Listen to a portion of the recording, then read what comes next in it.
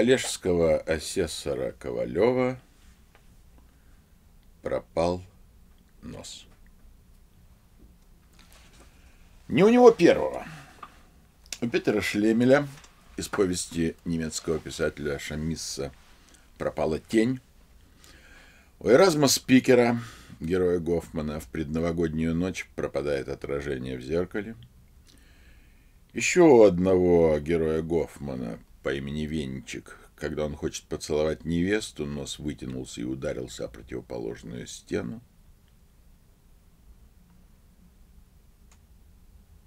Странная история.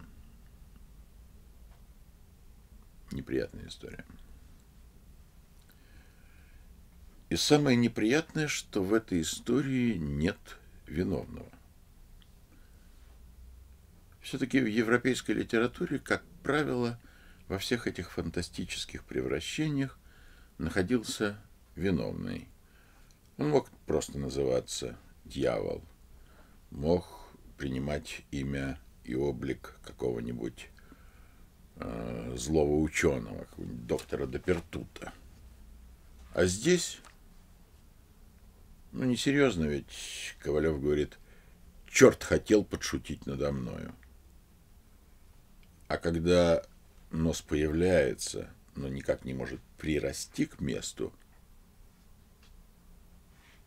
майор Ковалев, он любил, чтобы его называли майором, а не коллежским асессором. Э, в воинское соответствие чину восьмого класса ему было приятнее. Он пишет письмо штаб-офицерши офицерши Подточиной, которая, верно из мщения, решилась его испортить и наняла для этого каких-нибудь колдовок баб. В самом начале повести подчеркнута странность этого происшествия. Марта 25 числа случилось в Петербурге необыкновенно странное происшествие. Все обескуражены и удивлены начиная с цирюльника Ивана Яковлевича, который в печеном хлебе обнаруживает нос, и заканчивая самим, собственно, пострадавшим, майором Ковалевым, который, желая рассмотреть прыщик на носу, вскочивший вчера, обнаружил в зеркале, что никакого носа у него нет. Любопытно, как себя они ведут после того, как обнаруживают это странное явление.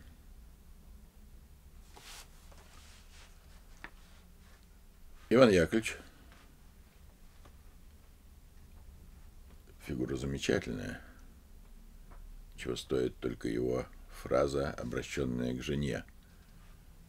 Я, матушка, сегодня не буду пить кофе, а вместо того хочу горячего хлебца с лучком.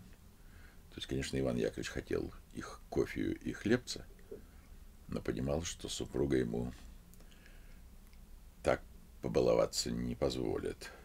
Иван Яковлевич пытается избавиться от носа и бросить его э, в Неву. Ковалев пытается пожаловаться в полицию, дать объявление в газету. И при этом, что любопытно, те, к кому он обращается, ведут себя, ну, скажем, так, как они вели бы себя, если бы происшествия не было никаких, в происшествии не было бы ничего странного.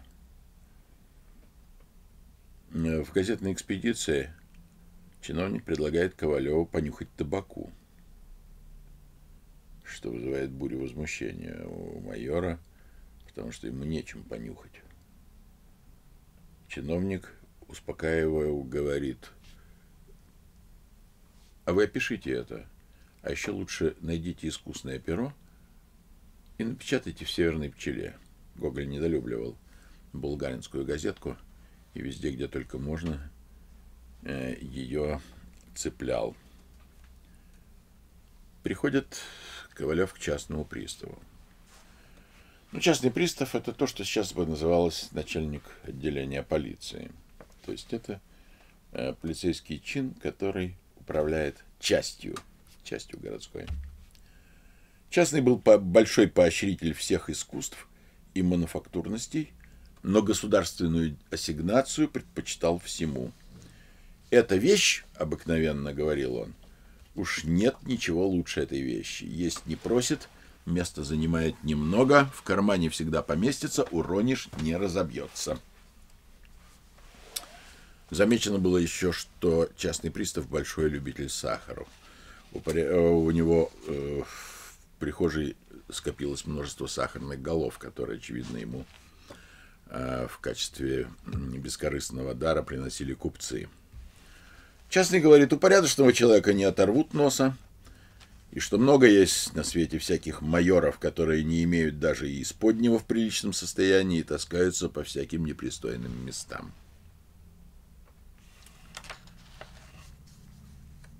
Но самое интересное впереди. Майор Ковалев отправляется в Казанский собор.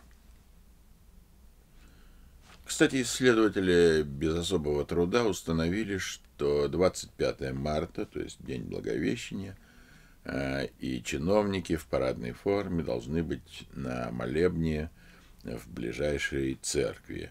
Ну, а одна из парадных церквей Петербурга – это Казанский собор. Ковалев видит, что среди молящихся находится его собственный нос. Причем нос этот был в мундире, шитым золотом, то есть генеральском мундире, с большим стоячим воротником. На нем были замшевые панталоны, при боку шпага. По шляпе с плюмажем можно было заключить, что он считается в ранге статского советника. Генеральский. Ковалев, рабея, подходит к своему собственному носу и предлагает тому вернуться на законное место. Вы ошибаетесь, милостивый государь. Я сам по себе. Притом между нами не может быть никаких тесных отношений. Судя по пуговицам вашего вицмундира, вы должны служить по другому ведомству. Этого достаточно, чтобы Ковалев ушел. Отстал от своего собственного носа.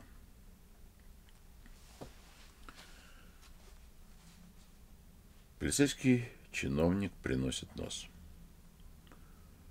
причем сообщает, что этот нос вроде бы собирался уехать в Ригу, но им, полицейским, был вовремя остановлен. Нос не прирастает. А потом ни с того ни с сего прирос.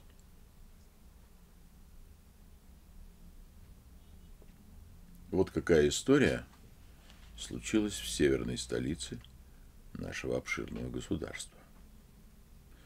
Теперь только по соображении всего видим, что в ней есть много неправдоподобного. Не говоря уж о том, что точно странно сверхъестественное отделение носа и появление его в разных местах в виде статского советника, как Ковалев не смекнул, что нельзя через газетную экспедицию объявлять о носе. Я здесь не, не в том смысле говорю, что чтобы мне казалось дорого заплатить за объявление. Это вздор, я совсем не из числа коростолюбивых людей. Но неприлично, неловко, нехорошо. И опять же, как нос очутился в печеном хлебе? И как сам Иван Яковлевич? Нет, нет, этого я никак не понимаю, решительно не понимаю. Но что страннее, что непонятнее всего, это то, как авторы могут брать подобные сюжеты. Признаюсь, это уж совсем непостижимо. Это, это, это точно... Нет, нет, совсем не понимаю. Во-первых, пользы Отечеству никакой. Решительно никакой. Во-вторых, и во-вторых, нет никакой пользы. Просто я не знаю, что это. Однако ж при всем том, хотя, конечно, можно допустить и то, и другое, и третье, может даже... Ну да и где же не бывает несообразностей? А все, однако ж, как поразмыслишь, во всем этом право что-то есть. Кто что ни говори, а подобные происшествия бывают на свете. Редко, но бывают. В чем смысл этого странного, смешного гоголевского рассказа. Во-первых, очень сильное искушение прочитать заглавие рассказа наоборот. Не нос, а сон. Но любопытно, что первоначально Гоголь и давал рассказ как сон майора Ковалева – и заканчивался этот рассказ пробуждением. А потом Гоголь эту мотивировку убрал. Можно было бы прочитать этот э, рассказ или эту повесть как такое пародийное воспроизведение э, сюжетов немецкого романтизма. Может быть, так и есть.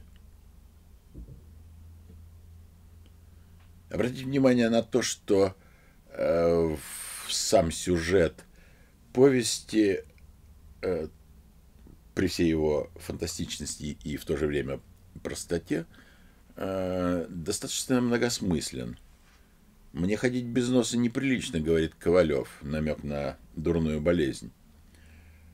«У порядочного человека не оторвут носа». Примерно тоже. «Оставить с носом»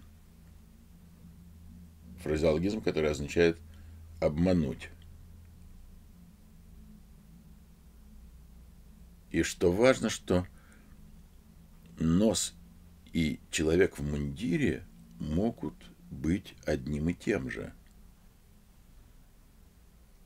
Из собственных ответов носа уже можно было видеть, что для этого человека, это Гоголь, ничего не было священного.